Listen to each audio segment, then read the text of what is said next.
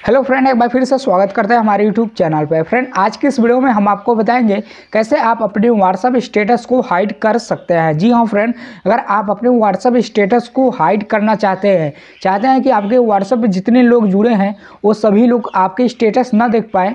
जिन लोगों को आप चाहे, बस वही लोग आपके स्टेटस देख पाए। तो इस सेटिंग को कैसे आपको करना है, कैसे आप उन लोगों से छुपा सकते हैं अपने स्टेटस को आज के इस वीडियो में हम आपको बताने वाला हैं। बस वीडियो को एंड तक दिख रहा है। अगर आपको वीडियो पसंद आए तो वीडियो को एक बार लाइक कर देना और हमारे चैनल पर नए तो चैनल को प्लीज़ सब्सक्राइब कर लेना है।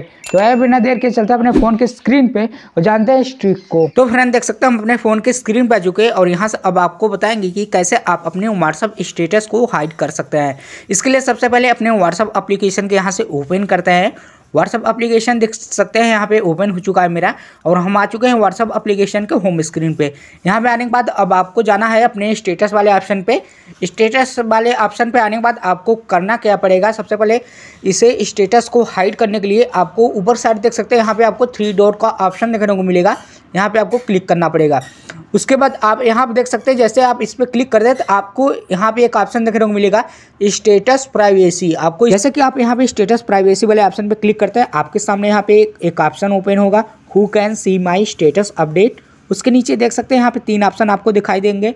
तीनों ऑप्शन का यहाँ पे अलग अलग काम होता है तो आपको अपने सिर्फ़ स्टेटस को अब हाइड करके रखना है। स्टेटस हाइड करने के लिए आपको यहाँ पे सेकेंड वाले ऑप्शन पे क्लिक करना पड़ेगा।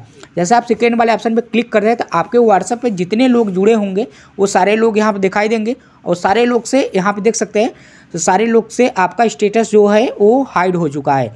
हाइड होने का मतलब यहाँ देख सकते हैं, जो रेड कलर का टिक दिखाई दे रहा है, जिन लोगों के सामने यहाँ पर टिक लगा है मतलब कि उन लोगों से आपका स्टेटस हाइड हो चुका है।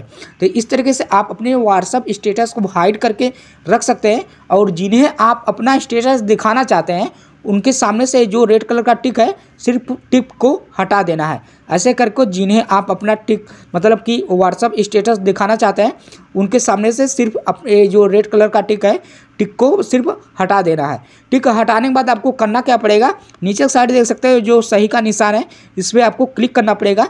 तो क्लिक कर देते हैं तो देख सकते हैं यहाँ पे 204 लोग से मेरा स्टेटस हाइड है, और सिर्फ़ आपके स्टेटस यहाँ पे कितने लोग देख पाएँगे? आप यहाँ पे देख सकते हैं।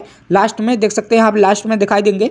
जिन लोगों के सामने से यहाँ पे टिक जो रेड कलर का है, जो हटा हुआ है, सिर्फ़ वही लोग आपके यहाँ पे स्टेटस देख पाएँगे। और जिनके सामने यहाँ पे रेड कलर का टिक लगा है, वो लोग आपका स्टेटस नहीं देख पाएँगे। तो इस तरीके से आप अपने स्टेटस को हाइड करके रख सकते हैं।